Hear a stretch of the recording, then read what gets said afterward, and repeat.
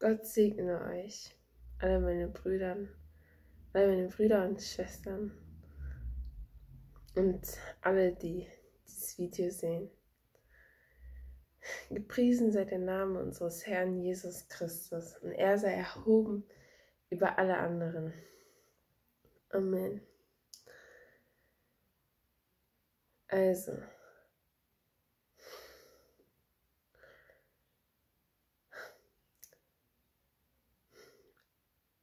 wir haben keinen anderen Gott als Jesus Christus und wir haben keinen anderen Glauben als das, was in der Bibel steht.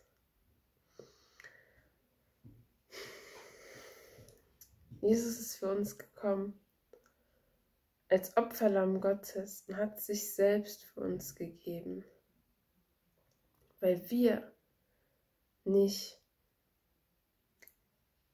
weil wir voller Sünde waren und er nicht wollte, dass wir, wir verloren gehen. Die Bibel sagt, dass der Wille Gottes ist, dass jeder gerettet wird.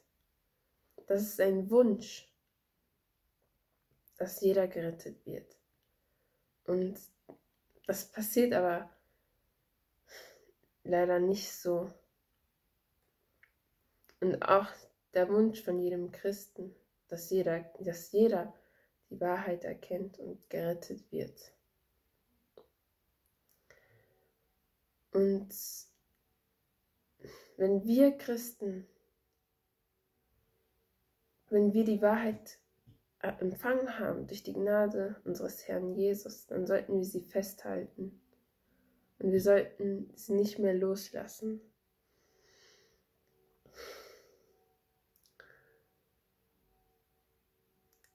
Der Herr Jesus hat sich selbst für uns gegeben.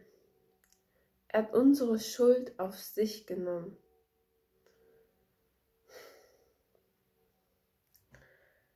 Und wir sind nur daran, wir sind einfach nur gerettet, weil wir an ihn glauben, weil wir ihn aufgenommen haben in unserem Herzen. Jesus hat Unglaubliches für uns getan. Und manchmal habe ich das Gefühl, dass wir das noch nicht oder nicht wirklich, dass wir manchmal vergessen, was er eigentlich für uns getan hat. Auch ich selber, dass ich das manchmal einfach nicht mehr so in meinem Herzen habe. Aber wir sollten es immer in unserem Herzen haben. Wir sollten es nicht vergessen. Wir sollten uns immer wieder daran erinnern, was Jesus eigentlich für uns getan hat. Weil immer, wenn man sich daran erinnert, was Jesus für einen getan hat, dann, dann möchte man nicht mehr, man möchte nicht stolz sein. Man, alles, man möchte einfach sein Leben zu der Ehre Gottes leben. Und jeder Christ hat das Verlangen in sich, einfach so zu sein wie Jesus. Jeder Christ hat das Verlangen in sich, perfekt zu sein, vollkommen zu sein, auch wenn wir es jetzt nicht sind, aber wir haben den Willen dazu. Und wenn wir Glauben haben, also durch Glauben, also durch Jesus, für uns ist es nicht möglich, aber für Jesus, für Gott ist alles möglich. Selbst, dass wir so, dass wir sogar perfekt und vollkommen wären. Deswegen sagt ja die Bibel, der Herr reinige euch völlig und heilige euch und, und der Herr möge euch, also, dass wir einfach ähm, perfekt dastehen, dass wir bereit sind für sein Kommen. Für ihn ist es möglich, das zu tun, aber wir müssen einfach nur glauben. Wir müssen uns einfach an ihn geben, uns ihm hingeben, uns ihm überlassen, unser Leben ihm überlassen. Und wir sind nur durch Glauben gerettet. Aber was bedeutet es wirklich zu glauben? Weil das, es gibt Dinge, die gläubige Christen einfach nicht mehr tun können. Es gibt Sünde, die wir tun aus unserer Schwachheit weil wir einfach Menschen sind, weil wir in diesem Fleisch sind. Und es ist halt Schwachheit. Weil wir sollen ja auch nicht nach dem Fleisch wandeln, sondern nach dem Geist. Aber dann gibt es noch Dinge, die sind einfach bewusst, die ein Christ einfach nicht mehr tun kann. Das ist, das ist bewusste Sünde. Also das, man sündigt nicht aus Schwachheit, sondern man ignoriert einfach vollkommen das Gebot Gottes und widersetzt sich dem. Und zum Beispiel kennt man als, als Christ, du nennst dich ein Christ, aber du lebst mit deiner Freundin oder mit deinem Freund zusammen. Oder du nennst dich Christ, aber du gehst auf Partys. Wir sind zwar nicht mehr unter dem Gesetz, aber wir sind noch unter dem Gesetz Christi. Und es gibt Dinge, die ein Christ, einfach ein gläubiger Christ nicht mehr tun kann. Wir sind aus Glauben gerettet und der Glaube kommt zuerst. Aber auf den Glauben, darauf folgt, folgen auch Werke. Deswegen sagt die Bibel, wir sind durch Glauben, wir sind durch Glauben alleine gerettet, aber nicht durch Werke. Aber die Bibel sagt auch, wir sind durch Werke gerechtfertigt, nicht durch Glauben alleine. Aber was bedeutet das jetzt?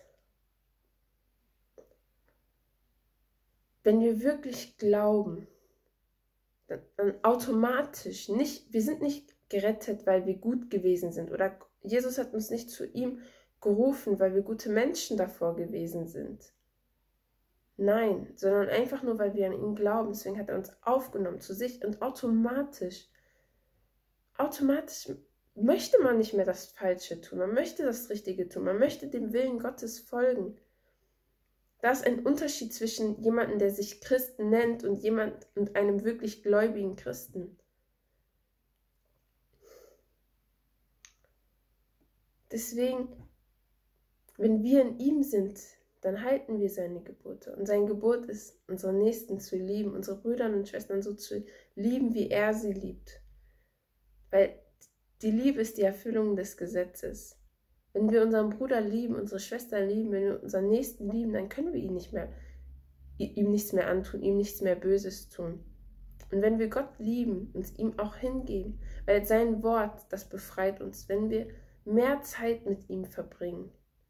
Weil das ist ja, was er möchte. Die Bibel sagt, reinigt die Hände, ihr Sünder, und nähert euch Gott an, und er wird sich euch annähern. Und so ist es, denn es ist die Sünde, die uns von, von Gott trennt. Und Jesus hat die Brücke wiedergebaut, uns wieder versöhnt mit Gott, die Brücke, dass wir wieder zurück zu Gott können unseres, uns bereinigt von unserer Sünde, uns freigesprochen. Aber das rechtfertigt nicht die Sünde, sondern vielmehr, Paulus sagt im Römerbrief, wir bestätigen das Gesetz. Hm. Also, ja. Unser Leben sollte ein Zeugnis für Jesus sein. Wir sollten bereit sein, alles für ihn zu geben. Ja.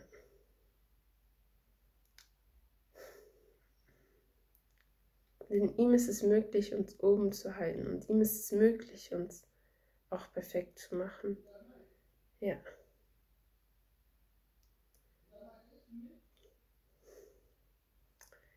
Gepriesen sei der Herr und der Herr möge an jeden von euch euch helfen, euch stärken, euch kräftigen. Ja, und, und wenn du kein Christ bist und dieses Video siehst, dann wisse, dass Jesus für deine Sünden gestorben ist und dass er eigentlich, er sagt, ich, ich sehe, ich stehe hier und klopfe an der Tür und jeder, der aufmacht, zu dem werde ich eingehen und und mit ihm das Abendmahl essen oder mit ihm Gemeinschaft haben. Ja, und wenn du heute, heute, wenn du seine Stimme hörst, verhärte dein Herz nicht, aber öffne dein Herz für ihn, sodass er in dich reinkommt und du wirst sehen, dass, weil das ist das, was eigentlich, was jedem Menschen, was jeder, wir alle brauchen.